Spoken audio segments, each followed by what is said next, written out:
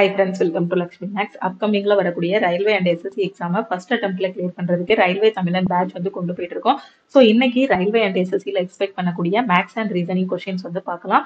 அதுக்கு முன்னாடி புதுசா யாராவது நம்ம சேனலுக்கு வந்துருந்தீங்கன்னா சப்ஸ்கிரைப் பண்ணிட்டு பெல் ஐக்கான கிளிக் பண்ணிக்கோங்க. அப்கமிங்ல வரக்கூடிய ரயில்வே எஸ்எஸ்சின்னு நீங்க எந்த எக்ஸாம் ப்ரிப்பேர் பண்ணாலும் சரி அந்த எக்ஸாம்ல நான் ஃபர்ஸ்ட் அட்டம்ப்ட்ல கிளியர் பண்ணணும் மேம் அதுக்கு எனக்கு பெஸ்ட்டான ஆன்லைன் கிளாஸ் வேணும் அப்படின்னு நினைக்கிற ஸ்டூடெண்ட்ஸ் நம்ம ஆப்ல இருக்கக்கூடிய ஆல் இன் ஒன் கோர்ஸில் ஜாயின் பண்ணிக்கோங்க. ஆல் இன் ஒன் கோர்ஸ்னா என்னன்னா ஐம்பதுக்கும் மேற்பட்ட central government and state government எக்ஸாமை ஃபர்ஸ்ட் அட்டம்ப்ட்ல கிளியர் பண்ற மாதிரி ஒரு பெஸ்ட்டான கிளாஸஸ் வந்து கொடுத்துருப்போம். Classes test batch study materials எல்லாமே ப்ரொவைட் பண்ணிருப்போம். இதுதான் ஆல் இன் ஒன் கோர்ஸ் இதோட ப்ரைஸ் பார்த்தீங்க அப்படின்னா one seven double nine validity வந்து லைஃப் டைம் வேலிடிட்டி ஓகேவா ஸோ இதில் எப்படி ஜாயின் பண்ணணும் அப்படின்னா இந்த நம்பரை உங்கள் ஃபோனில் லக்ஷ்மி மேக்ஸன் போட்டு சேவ் பண்ணிக்கோங்க.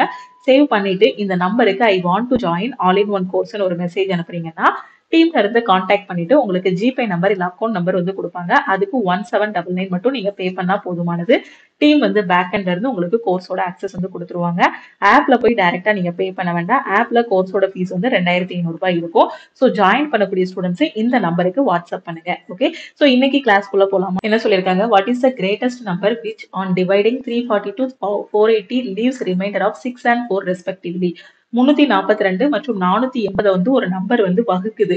அப்படி வகுக்கும் போது இப்போ ஒரு நம்பர் எக்ஸ்ன்னு இருக்குன்னு வச்சுக்கோங்க. அந்த நம்பரை வந்து முன்னூத்தி நாற்பத்தி ரெண்டை டிவைட் பண்றோம். அதே நம்பரை வச்சு அதே நம்பர் அதே நம்பரை என்ன பண்றோம்? நானூத்தி எண்பதையும் டிவைட் பண்றோம். இப்போ அந்த நம்பர் இருக்கு இல்லையா? எக்ஸை வச்சு முன்னூத்தி நாற்பத்தி ரெண்டை டிவைட் பண்ணா உங்களுக்கு மீதி ஆறு கிடைக்கும். அதே எக்ஸை வச்சு நானூத்தி எண்பதை டிவைட் பண்ணா மீதி வந்து நாலு கிடைக்கும். அப்போ அந்த நம்பர் என்ன? அந்த எக்ஸோட வேல்யூ என்ன? இதான் கொஸ்டின்ல கேட்டிருக்காங்க.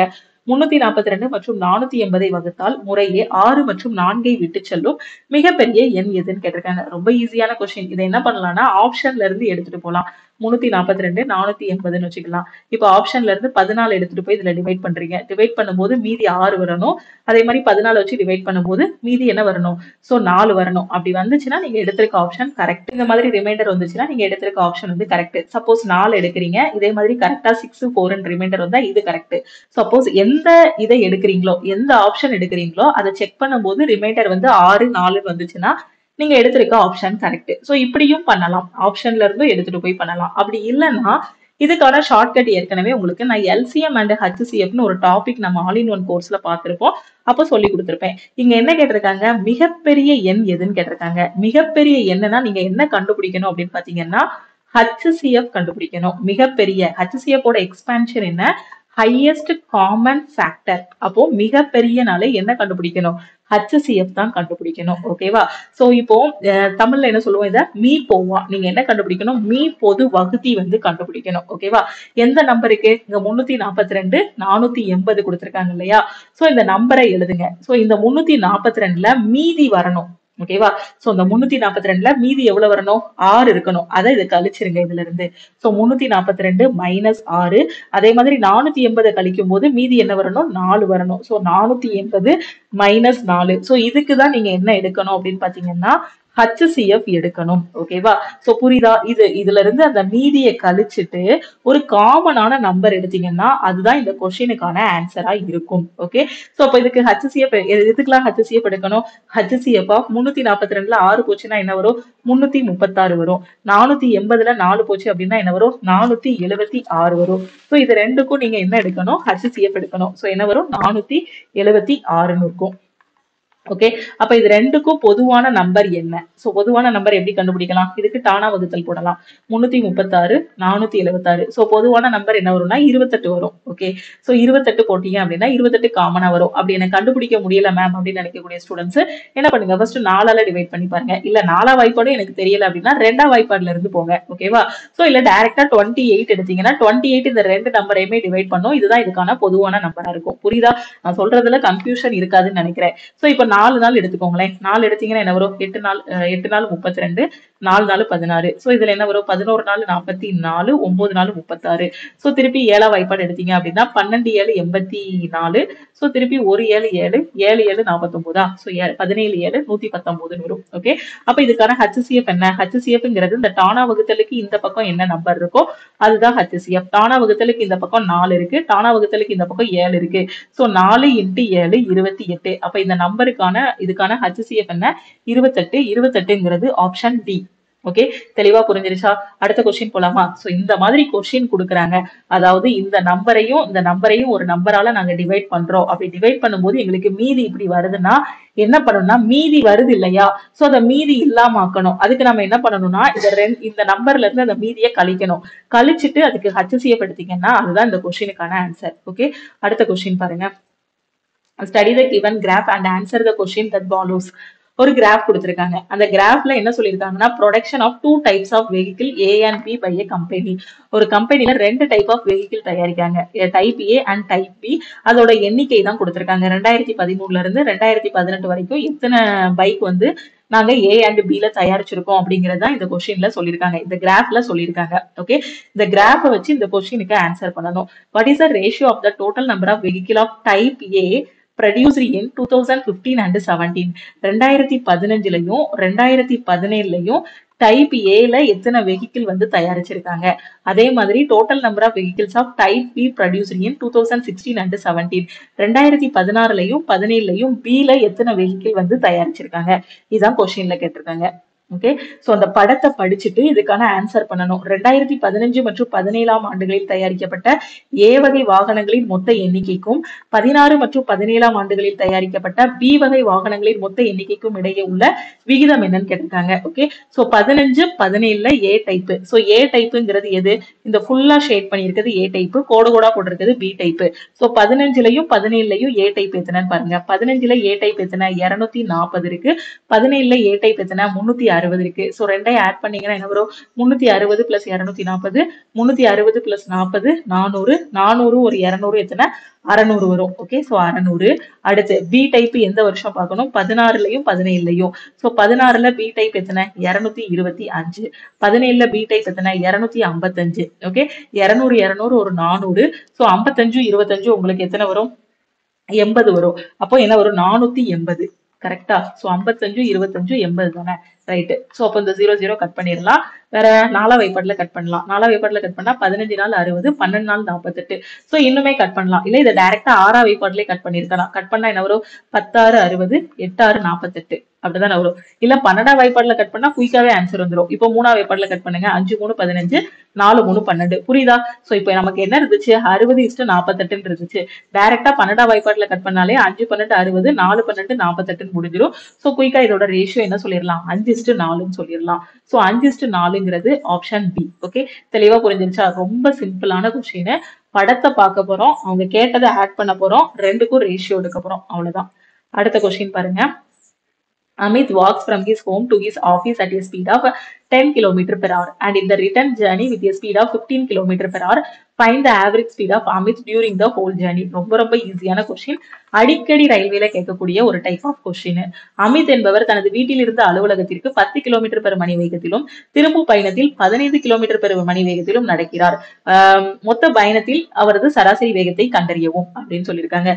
இப்போ அமித்ன்னு இருக்கான். அவனோட வீடு வந்து இதுதான் அவனோட வீடு. ஓகேவா சோ இது வந்து அவனோட ஆபீஸ்ன்னு வச்சுக்கோங்க. இது வீடு இது வீடு இது ஆபீஸ் இப்போ வீட்ல இருந்து ஆபீஸ் பத்து கிலோமீட்டர் தூரம் இருக்குன்னா ஆபீஸ்ல இருந்து வீட்டுக்கு கலந்து பாத்தீங்கன்னா அதே பத்து கிலோமீட்டர் தான் இருக்கும். அப்படிதானே வீட்ல இருந்து ஆபீஸுக்கு பத்து ஆபீஸ்ல இருந்து வீட்டுக்கு வந்தாலும் பத்து கிலோமீட்டர் தான் கிடக்குறான். ஒரு எக்ஸாம்பிளுக்கு சொல்றேன் ஓகேவா இல்ல நூறு கிலோமீட்டர் இருக்குன்னா வீட்ல இருந்து ஆபீஸ் நூறு கிலோமீட்டர் ஆபீஸ்ல இருந்து வீடு நூறு கிலோமீட்டர் அப்ப இதுல இருந்து என்ன என்ன புரியுது? ஆஹ் வீட்ல இருந்து ஆபீஸ் போகும்போதும் அதே தூரம் தான் கிடக்குறான். ஆபீஸ்ல இருந்து வீட்டுக்கு திரும்பும் போதும் அதே டிஸ்டன்ஸ் தான் கிடக்குறான். அப்ப இந்த இடத்துல எது கான்ஸ்டன்ட் டிஸ்டன்ஸ் வந்து கான்ஸ்டன்ட் அப்ப டிஸ்டன்ஸ் கான்ஸ்டன்டா இருக்கும்போது ஆவரேஜ் கண்டுபிடிக்கிறதுக்கான ஃபார்முலா என்ன? Two AB divide by A plus B சில புக்ல ஏபின்னு போட மாட்டாங்க எக்ஸ் ஒயின் போட்டிருப்பாங்க. Two X Y divide by X plus wine போட்டிருப்பாங்க. சில புக்ல பாத்தீங்க அப்படின்னா two S one S two divide by S one plus S two போட்டிருப்பாங்க. இந்த வேரியபிள எப்படினாலும் நாம போட்டுக்கலாம். ஓகேவா அப்போ ஒரு இடத்துல ஆவரேஜ் ஸ்பீட் கண்டுபிடிக்க சொல்றாங்க. அங்க டிஸ்டன்ஸ் கான்ஸ்டன்டா இருக்குன்னா average speed கண்டுபிடிக்கிறதுக்கான shortcut two AB divide by A plus B okay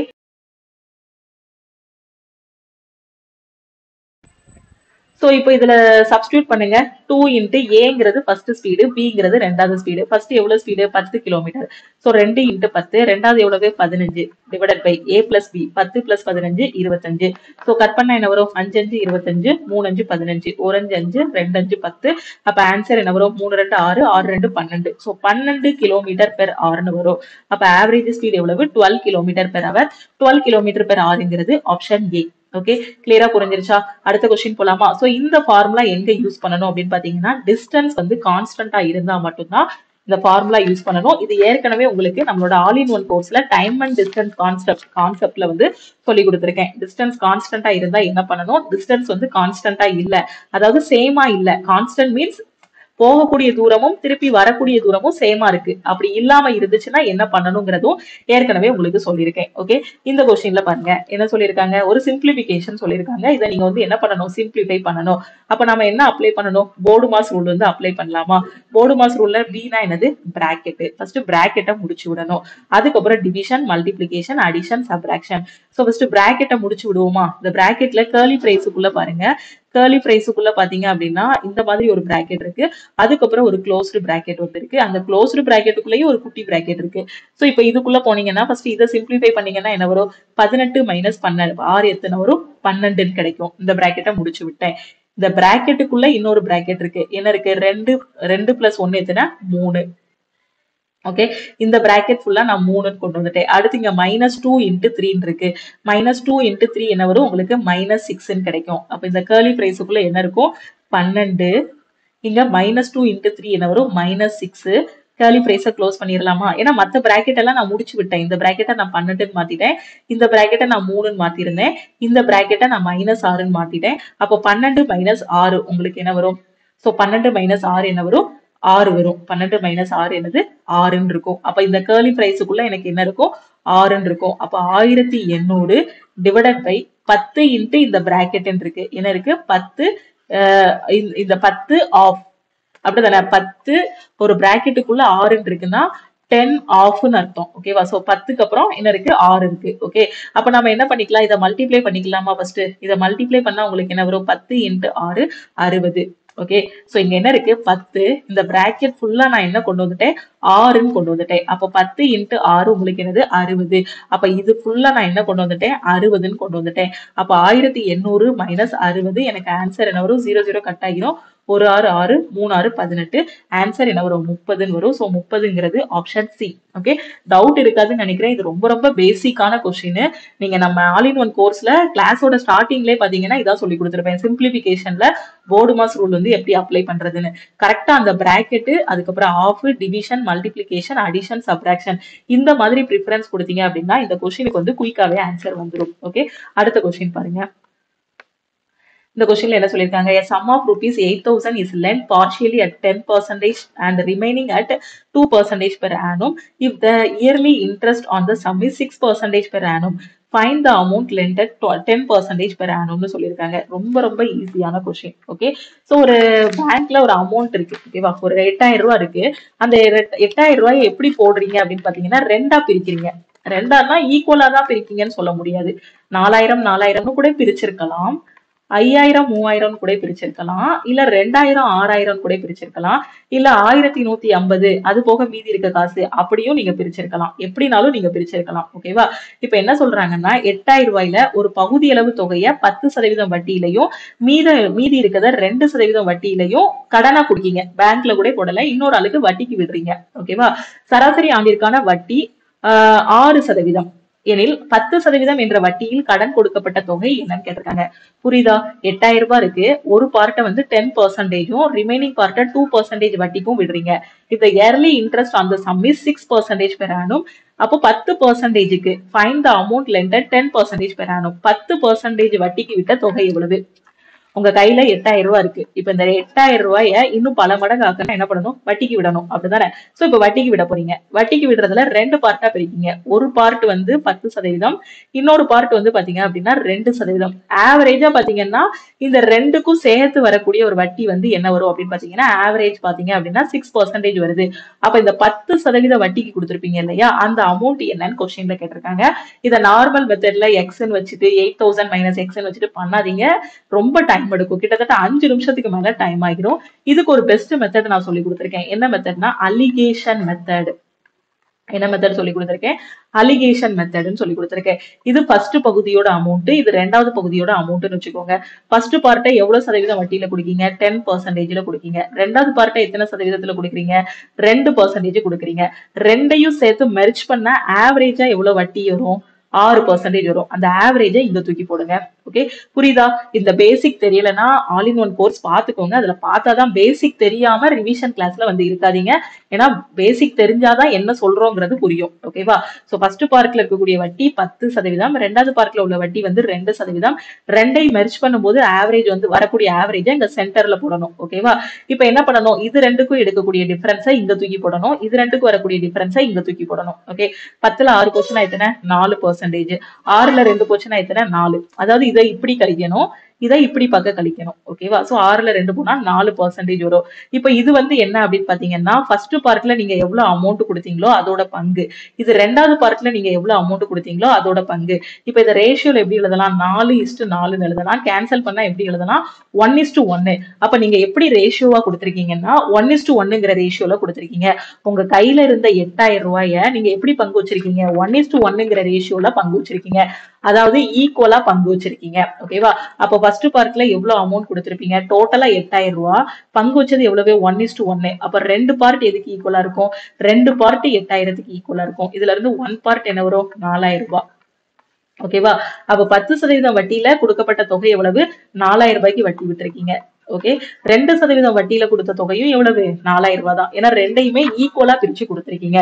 இதுதான் இதுக்கான ஷார்ட்கட் இந்த மெத்தடை மறந்துடாதீங்க. அலிகேஷன் மெத்தட்ல இந்த சம்ம சால்வ் பண்ணீங்க அப்படின்னா குயிக்கா ஆன்சர் வந்துடும் இதுதான் இதுக்கான ஷார்ட்கட் எக்ஸாம்ல ரொம்ப டைம் சேவ் ஆகும் சேவ் ஆகும். ஓகேவா ஸோ நார்மல் மெத்தட் எடுத்துட்டீங்க அப்படின்னா ரொம்ப டைம் எடுக்கும். கிட்டத்தட்ட அஞ்சு நிமிஷமா அது ஆகிரும். இங்க ஃபர்ஸ்ட் பார்ட்டோட பர்சன்டேஜ் போட போறீங்க. இது ரெண்டாவது பார்ட்டோடது இது ஆவரேஜோடது இங்க போட போறீங்க.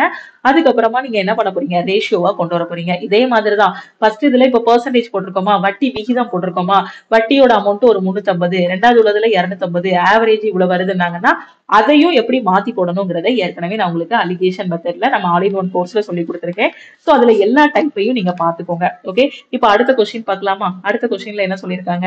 Aditya through credit cards of different banks ABCDE and uh, total money the total money spent by him through credit card in a year is three lakh sixty thousand Aditya ஒருத்தர் வந்து கிரெடிட் கார்டு வச்சிருக்காரு. ஒரு அஞ்சு பேங்க்ல வாங்கி வச்சிருக்காரு ஏபிசிடிஇன்னு மொத்தமா வருஷத்துக்கு மூவா மூணு லட்சத்தி அறுபதாயிரம் ரூபாய் வந்து செலவு பண்ணியிருக்காரு. ஓகே இப்போ என்ன கேட்டிருக்காங்கன்னா what is is combine spending through credit card of bank A and C ஓகேவா பேங்க் ஏல வாங்கின கிரெடிட் கார்டுக்கும் சில வாங்கின கிரெடிட் கார்டையும் வச்சு எவ்வளவு ரூபாய் செலவு பண்ணியிருக்காரு?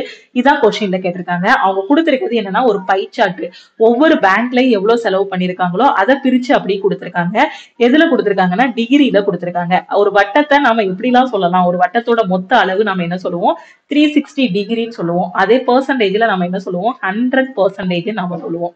ஓகேவா வட்டத்தோட மொத்த அளவை நாம என்ன சொல்லுவோம்? த்ரீ சிக்ஸ்டி டிகிரின்னு சொல்லுவோம். இந்த வட்டத்தோட மொத்த அளவை ரூபாயில எவ்வளவுன்னு சொல்லியிருக்காங்க? மூணு லட்சத்தி அறுபதாயிரம் ரூபாய். இந்த வட்டத்துல செலவு பண்ண எல்லா தொகையும் கூட்டணும் அப்படின்னா மூணு லட்சத்தி அறுபதாயிரம் ரூபாய் வரும். இந்த வட்டத்தை டிகிரியா பார்த்தோம் அப்படின்னா முன்னூத்தி அறுபது டிகிரி வரும். அப்ப அந்த முன்னூத்தி அறுபது டிகிரி எதுக்கு ஈக்குவலா இருக்கும்? இந்த மூணு லட்சத்தி அறுபதாயிரம் ரூபாய்க்கு ஈக்குவலா இருக்கும். இந்த கான்செப்ட் புரியுதா?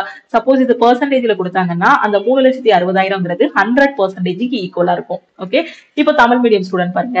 வங்கி ஏ மற்றும் வங்கி சி ஆகியவற்றின் கிரெடிட் கார்டு மூலம் அவர் செலவிட்ட தொகை என்னன்னு கேட்டிருக்காங்க. இப்போ வட்டத்தோட மொத்த அளவு எவ்வளவு? த்ரீ சிக்ஸ்டி டிகிரி அந்த த்ரீ சிக்ஸ்டி டிகிரி எதுக்கு ஈக்குவல் மூணு லட்சத்தி அறுபதாயிரத்துக்கு ஈக்குவல் ஓகேவா credit card A and C ஓகேவா வங்கி ஏ அண்ட் சிக்கு போங்க. So bank A and C எங்க இருக்கு? சோ ஒரு second bank A and C எங்க இருக்கு? இந்த இருக்கு.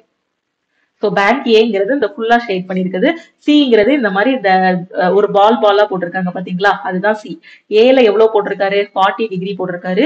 சில எவ்வளவு போட்டிருக்காரு? ஹண்ட்ரட் டிகிரி போட்டிருக்காரு. ரெண்டையும் கூட்டினா ஏ அண்ட் சில எவ்வளவு வரும்? ஒன் ஃபார்ட்டி டிகிரி வரும். ஏலையும் சிலையும் எவ்வளவு வரும்? ஒன் ஃபார்ட்டி டிகிரி வரும். இதே நிறைய பிகினர் என்ன பண்ணுவாங்க அப்படின்னு பாத்தீங்கன்னா ஸோ பிகினர் என்ன பண்ணுவாங்கன்னா ஏ தனியா கண்டுபிடிச்சு சி தனியா கண்டுபிடிச்சு ரெண்டையும் ஆட் பண்ணுவாங்க. எல்லாமே ஒன்று தானே ஸோ இது வந்து ஏ தனியா அமௌண்ட் கண்டுபிடிச்சு சி தனியா அமௌண்ட் கண்டுபிடிச்சு ஆட் பண்ணாலும் அதே ஆன்சர் தான் வரப்போகுது. டைம் அதிகமா வரப்போகுது. கொஞ்சம் ஸ்மார்ட்டா யோசிங்க. ஏஎன்சியோட கூட்டுத்தொகை கேட்டிருக்காங்க. ரெண்டையும் கூட்டினா எவ்வளவு டிகிரி வரும்? நூத்தி நாற்பது டிகிரி வரும் ஓகேவா ஸோ அப்போ ஏல நாற்பது டிகிரி செலவு பண்ணியிருக்காரு. சில நூறு டிகிரி செலவு பண்ணியிருக்காரு. அப்ப நூத்தி நாற்பது டிகிரியோட மதிப்பு என்னன்னு நான் கண்டுபிடிக்கணும். ஏற்கனவே எனக்கு முன்னூத்தி அறுபது டிகிரியோட மதிப்பு மூணு லட்சத்தி அறுபதாயிரம் தெரியும். இதுல இருந்து ஒரு டிகிரி டிகிரியோட மதிப்பு என்னன்னு கண்டுபிடிங்க. ஸோ அப்போ மூணு லட்சத்தி அறுபதாயிரம் டிவைடட் பை முன்னூத்தி அறுபதுன்னு வரும். ஸோ என்ன வரும்? முன்னூத்தி அறுபது ஒரு டைம் கட் ஆகும். ஸோ என்ன வரும்? ஆயிரம்னு கிடைக்கும். ஒரு டிகிரியோட மதிப்பு எவ்வளவு? ஆயிரம்னு நான் கண்டுபிடிச்சிட்டேன். இப்போ நான் என்ன கண்டுபிடிக்கணும்? ஏஎன்சியோடது கண்டுபிடிக்கணும். ஏஎன்சியோடது எவ்வளவு? நூத்தி நாற்பது டிகிரி ஒரு டிகிரி ஆயிரமா இருந்தா நூத்தி நாற்பது டிகிரி என்ன வரும்? நூத்தி நாற்பது இன்ட்டு ஆயிரம். ஸோ ஒரு மூணு ஜீரோ சேர்த்து விட்டுருங்க. அப்போ ஒரு லட்சத்தி நாற்பதாயிரம் ரூபாய் அவர் என்ன பண்ணிருப்பாரு செலவு பண்ணிருப்பாரு அந்த கார்டுல இருந்து ஓகே இப்போ உங்களுக்கான ஹோம்ஒர்க் கொஸ்டின் என்ன அப்படின்னு பாத்தீங்கன்னா நீங்க என்ன பண்ணுங்கன்னா மீதி இருக்க பிடிஇல e அவர் எவ்வளவு செலவு பண்ணிருக்காரு? இல்லைன்னா நீங்க என்ன பண்ணிருங்க ஏ பி சி டிஇல தனித்தனியா எவ்வளவு செலவு பண்ணிருக்காருங்கிறத நீங்க ஆன்சரா சொல்லுங்க. ஃபார் எக்ஸாம்பிள் இப்போ ஒரு டிகிரி தௌசண்டா அப்ப ஏங்கிற பேங்கை வச்சு அவர் எவ்வளவு செலவு பண்ணிருப்பாரு? ஏங்கிற பேங்க்ல ஃபார்ட்டி டிகிரி அப்போ forty into thousand forty thousand அப்போ பிங்கிற பேங்க்ல எவ்வளவு செலவு? சிங்கிற பேங்க்ல உள்ள கார்டை வச்சு எவ்வளவு செலவு பண்ணிருக்காரு? டி கார்டை வச்சு எவ்வளவு பண்ணிருக்காரு? E ஈல எவ்வளவு பண்ணிருக்காருன்னு பாருங்க. ஒரு டிகிரியோட வேல்யூ கையில இருக்கு. மீதி உள்ளதுக்கான ஆன்சர் என்ன வருங்கிறத கமெண்ட்ல சொல்லுங்க. ஓகேவா அடுத்த கொஸ்டின் பாத்துருவோமா ஸோ இது ரொம்ப ஈஸியான கொஸ்டின் ஒரு சிம்பிளிஃபிகேஷன் தான் கொடுத்துருக்காங்க. Thirty percentage of three sixty plus eleven percentage of two hundred divide by two percentage of four hundred so first நாம இதை இந்த ப்ராக்கெட்டை சிம்பிளிஃபை பண்ணால் என்ன வரும்? பர்சன்டேஜ் இங்க ரெண்டு ஜீரோ இருக்கு. Thirty divide by hundred into three சிக்ஸ்டின்னு எழுதுவோம். ஜீரோ ஜீரோ கட் ஆகிரும் அப்படிதானே? அப்போ டைரக்டாவே இந்த பர்சன்டேஜையும் இந்த ரெண்டு ஜீரோவையும் கட் பண்ணி விட்டுலாமா அப்போ மூணு இன்ட்டு முப்பத்தாறு என்ன வரும்? நூத்தி எட்டு. அடுத்து இங்கேயும் பர்சன்டேஜ் இருக்கு. ரெண்டு ஜீரோ இருக்கு. கட் பண்ணி விட்டுறலாம். பிளஸ் பதினொன்னு இன்ட்டு ரெண்டு இருபத்தி ரெண்டு டிவைட் பை இங்கேயும் பர்சன்டேஜ் இருக்கு. இங்கேயும் ரெண்டு ஜீரோ இருக்கு கட் பண்ணி விட்டுறலாம். நாலு இன்ட்டு ரெண்டு எட்டு. அவ்வளவுதான். ஓகே இப்ப ஆட் பண்ண என்ன வரும்? எட்டு ரெண்டு பத்து. ரெண்டு ஒன்று மூணு. நூத்தி முப்பது பை எட்டுன்னு இருக்கும். நூத்தி முப்பது பை எட்டு சிம்பிளிஃபை பண்ணா என்ன வரும்? ஒரு எட்டு எட்டு. ஸோ பதினாறு எட்டு நூத்தி இருபத்தெட்டு. ரெண்டு ஜீரோ இருக்கும். ஆஹ் ரெண்டு எட்டு பதினாறா? சாரி கரெக்ட் தானே? பதினாறு எட்டு நூத்தி இருபத்தெட்டு. ஒரு புள்ளி வச்சுக்கோங்க. ரெண்டு எட்டு பதினாறு அஞ்சு எட்டு நாற்பது ஸோ பதினாறு புள்ளி ரெண்டு அஞ்சுன்னு கிடைக்கும். பதினாறு புள்ளி ரெண்டு அஞ்சுங்கிறது ஆப்ஷன் டி ஓகே புரிஞ்சிருச்சா? ஸோ ரொம்ப ஈஸியான கொஸ்டின் இதை உட்காந்து எழுதி கேன்சல் பண்ணி தான் எக்ஸாம்ல காட்டணும்னு இல்லை. பார்த்த உடனேயுமே பர்சன்டேஜையும் ரெண்டு ஜீரோவையும் கட் பண்ணி விட்டீங்க அப்படின்னா சிம்பிளா ஒரு டூ செகண்ட் த்ரீ செகண்ட்ல எக்ஸாம்ல ஆன்சர் பண்ணிடலாம். ஓகேவா இது போக இன்னும் நிறைய கொஸ்டின்ஸ் இருக்கு. அந்த கொஸ்டின்ஸ் எல்லாத்தையும் நம்ம வந்து அடுத்தடுத்த கிளாஸ்ல வந்து டிஸ்கஸ் பண்ணலாம். இந்த வீடியோ உங்களுக்கு பிடிச்சிருக்கு அப்படின்னா லைக் பண்ணுங்க. உங்களுக்கு டவுட்ஸ் இருக்கு அப்படின்னா கமெண்ட் பண்ணுங்க. உங்க ஃப்ரெண்ட்ஸ் எக்ஸாமுக்கு ப்ரிப்பேர் பண்றாங்கன்னா அவங்களுக்கும் இந்த வீடியோவை ஷேர் பண்ணுங்க. அடுத்து செப்டம்பர்ல பாத்தீங்க அப்படின்னா எஸ்எஸ்சி ஜிடியோட நோட்டிபிகேஷன் வரப்போகுது.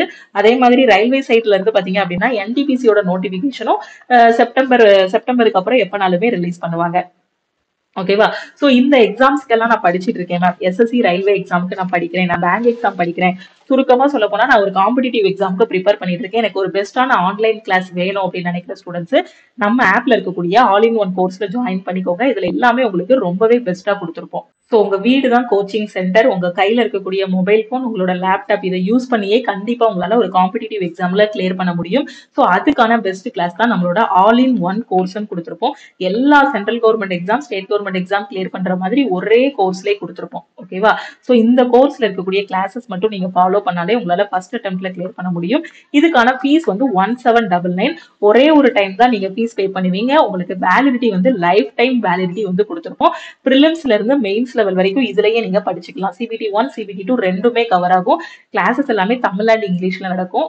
ஓகேவா சோ கிளாஸ் எல்லாமே எங்க நடக்கும்னா நம்ம லக்ஷ்மி மேக்ஸ் ஆப்ல தான் கிளாஸ் நடக்கும். கிளாஸஸ் டெஸ்ட் பிடிஎஃப் எல்லாமே ஆப்லேயே ப்ரொவைட் பண்ணிடுவோம் என்னென்ன டாபிக் கவர் பண்ணிருப்போம் அப்படின்னு பாத்தீங்கன்னா ரயில்வே ஸ்டூடெண்டா இருந்தீங்க அப்படின்னா maths reasoning general awareness science அதுக்கான previous year question revision classes railway இருக்குன்னா அதுக்கு கீழே வரக்கூடிய என்டிபிசி குரூப் டி ஏஎல்பின்னு எல்லா எக்ஸாமும் கவர் ஆகும். எஸ்எஸ்சினா சிஜிஎல் சிஹெச்எஸ்எல் எம்டிஎஸ் ஜிடின்னு எஸ்எஸ்சிக்குள்ள என்னென்ன வருதோ எல்லாமே கவர் ஆகும். பேங்க்னா பேங்க் பி ஒன் கிளர்க் வந்து கவர் ஆகும். டிஎன்பிசி ஸ்டூடெண்ட்டுக்கு ஜென்ரல் தமிழ் மட்டும் கவர் ஆகாது. மீதி எல்லா சப்ஜெக்டும் இதிலே கவர் ஆகிரும். இதையே நீங்க வந்து ஃபாலோ பண்ணிக்கலாம் ஓகேவா ஸோ அந்தந்த எக்ஸாமுக்கான previous year question revision classes daily test weekly test எல்லாமே ப்ரொவைட் பண்ணிருப்போம். டோட்டலா ரெண்டாயிரத்துக்கும் மேற்பட்ட வீடியோஸ் வந்து இது வரைக்கும் ப்ரொவைட் பண்ணிருக்கோம். ரெக்கார்டட் கிளாஸஸ் லைவ் கிளாஸஸ் எல்லாமே இதுல இருக்கும். டெய்லி டெஸ்ட் வீக்லி டெஸ்ட் எல்லாமே இதுல ப்ரொவைட் பண்ணிடுவோம் ஆல் இன் ஒன் கோர்ஸோட ஃபீஸ் ஆப்ல பாத்தீங்கன்னா ரெண்டாயிரத்தி ஐநூறுபா இருக்கும். இந்த அமௌண்ட் நீங்க பே பண்ண வேண்டாம். லக்ஷ்மி மேக்ஸ் டீமுக்கு நீங்க காண்டாக்ட் பண்ணீங்க அப்படின்னா அவங்க உங்களுக்கு ஜிபே நம்பர் இல்ல அக்கௌண்ட் நம்பர் வந்து கொடுப்பாங்க. அதுக்கு ஒன் செவன் டபுள் நைன் மட்டும் நீங்க பே பண்ணா போதுமானது. ஓகேவா சோ எப்படி காண்டாக்ட் பண்ணணும் அப்படின்னு பாத்தீங்கன்னா இதுதான் லக்ஷ்மி மேக்ஸ் டீமோட வாட்ஸ்அப் நம்பர் கிளாஸோட ஸ்டார்டிங்லேயே உங்களுக்கு சொல்லியிருந்தேன். ஸோ இந்த நம்பருக்கு நீங்க I want to join all in one கோர்ஸ்னு ஒரு மெசேஜ் அனுப்புனீங்கன்னா டீம்ல இருந்து காண்டாக்ட் பண்ணிட்டு எப்படி ஜாயின் பண்ணணும் உங்க கூடிய இன்ஃபர்மேஷன் சொல்லிடுவாங்க இந்த நம்பரை உங்க போன்ல லக்ஷ்மி மேக்ஸ்ன்னு போட்டு சேவ் பண்ணிக்கோங்க. சேவ் பண்ணிட்டு இதுக்கு நீங்க அனுப்ப வேண்டிய மெசேஜ் என்னன்னா I want to join all in one course ஓகேவா மெசேஜ் அனுப்பிட்டீங்களா? அனுப்புனதுக்கு அப்புறம் அவங்க வந்து உங்களுக்கு ஜிபே நம்பர் இல்ல அக்கௌண்ட் நம்பர் வந்து கொடுப்பாங்க. அதுக்கு ஒன் செவன் டபுள் நைன் மட்டும் நீங்க பே பண்ணா போதுமானது. எனக்கு கிளாஸ் பத்தி இன்னுமே டவுட் இருக்கு மேம் அப்படின்னு நினைக்கக்கூடிய ஸ்டூடெண்ட்ஸ் நம்ம டீம் கிட்டேயே நீங்க தாராளமா கேட்கலாம். உங்களுக்கு என்ன டவுட் இருந்தாலும் அவங்க வந்து கிளாரிஃபை பண்ணிடுவாங்க கிளாஸஸ் எல்லாமே தமிழ் அண்ட் இங்கிலீஷ்ல இருக்கும். ஒரு டைம் நீங்க ஃபீஸ் பே பண்ணிட்டீங்க அப்படின்னா அதுக்கப்புறம் உங்களுக்கு எப்பவுமே ஃபீஸ் பே பண்ற மாதிரி இருக்காது. லைஃப் டைம் அக்சஸ் இருக்கும். ஓகேவா ஸோ நீங்க டூ இயர்ஸ்ல ரினியூவல் பண்ணணும் த்ரீ இயர்ஸ்ல ரினியூவல் பண்ணணும் கோர்ஸோட வேலிடிட்டி சிக்ஸ் மந்த்ஸ் அப்படிலாம் எந்த கதையுமே கிடையாது. ஒரே ஒரு டைம் தான் ஃபீஸ் பே பண்ண போறீங்க. லைஃப் டைம் வேலிடிட்டி இருக்கும். எதுக்காக கொடுக்குறோம் அப்படின்னா ரயில்வேல ஒரு குரூப் டியோ இல்ல எஸ்எஸ்சியில் ஒரு எம்டிஎஸ்ஓ கிளியர் பண்ணிட்டீங்க அப்படின்னா அடுத்து இருக்கக்கூடிய லெவலான என்டிபிசி அதே மாதிரி ஏஎல்பி ப்ரிப்பேர் பண்றீங்கனாலும் அடுத்தடுத்த லெவலுக்கு முன்னேறி போகணுங்கிறதுக்காகவும் எம்டிஎஸ் கிளியர் பண்ண ஸ்டூடெண்ட் அடுத்து சிஹெச்எஸ்எல் சிஜிஎல் எல்லாமே கிளியர் பண்ணிட்டு போகணும். பேங்க்ல கிளர்க் லெவல் கிளியர் பண்ணாலும் அடுத்து பிஓ லெவல் கிளியர் பண்ணணுங்கிறதுக்காக தான் உங்களுக்கு லைஃப் டைம் வேலிடிட்டி கொடுத்துருக்கோம். உங்களால கண்டிப்பா ஒரு நாலு மாசத்துலயோ ஆறு மாசத்துலயோ இதுல இருக்க கோர்ஸ் வந்து முடிக்க முடியும். உங்களோட கெப்பாசிட்டி நாலு மாசத்துல முடிச்ச ஸ்டூடெண்ட்டும் இருக்காங்க. ஆறு மாசம் வரைக்கும் முடிச்ச ஸ்டூடெண்ட்டும் இருக்காங்க. பெர்ஃபெக்டா உங்களுக்கு டைம் டேபிள் எல்லாமே கொடுத்துருப்போம். அந்த நாலு மாசத்துல முடிச்சிட்டீங்க அப்படின்னா அதுக்கப்புறம் டெஸ்ட் எடுக்க போறீங்க. கரெக்டா எக்ஸாம் கிளியர் பண்ண போறீங்க பாஸ் பண்ண போறீங்க. ஸோ உங்க வீடு தான் கோச்சிங் சென்டர் திருப்பியும் சொல்லிட்டேன். ஹவுஸ் ஒய்ஃபா இருக்கக்கூடிய ஸ்டூடெண்ட் அதே மாதிரி பிரைவேட் கம்பெனில ஒர்க் பண்ணக்கூடிய ஸ்டூடெண்ட் காலேஜ் ஸ்டூடெண்ட்ஸ் ஸோ உங்க எல்லாருக்கும் ரொம்பவே பெஸ்டா இருக்கும். என்னால ஒரு ஆஃப்லைன் கிளாஸ் போக முடியாது மேம் ஆஃப்லைன் கிளாஸோட ஃபீஸ் அதிகமா இருக்கு. அதே மாதிரி எனக்கு இருக்கக்கூடிய டைம் பத்தல அப்படின்னு நினைக்கக்கூடிய எல்லா ஸ்டூடெண்ட்டுக்குமே நம்மளோட லக்ஷ்மி மேக்ஸோட ஆல் இன் ஒன் கோர்ஸ் ரொம்பவே பெஸ்ட்டாக இருக்கும். யூட்டிலைஸ் பண்ணிக்கோங்க. உங்க ஃப்ரெண்ட்ஸும் எங்கே ப்ரிப்பரேஷன் ஸ்டார்ட் பண்ணணும்னு தெரியலன்னு சொன்னாங்கன்னா அவங்களுக்கும் மறக்காம நம்ம கோர்ஸோட லிங்கையும் நம்ம டீமோட வாட்ஸ்அப் நம்பரையும் ஷேர் பண்ணுங்க. லக்ஷ்மி மேக்ஸோட யூடியூப் சேனலையும் சேனலோட லிங்கையும் ஷேர் பண்ணுங்க. நீங்க இன்னும் நம்ம டெலகிராம் குரூப் டெலகிராம் சேனல்ல ஜாயின் பண்ணது அப்படின்னா டெலகிராம் குரூப் அண்ட் சேனலை ஜாயின் பண்ணிக்கோங்க. இன்ஸ்டாகிராம்லயும் லக்ஷ்மி மேக்ஸை ஃபாலோ பண்ணிக்கோங்க. திருப்பியும் அடுத்த கிளாஸ்ல மீட் பண்ணலாம். தேங்க்யூ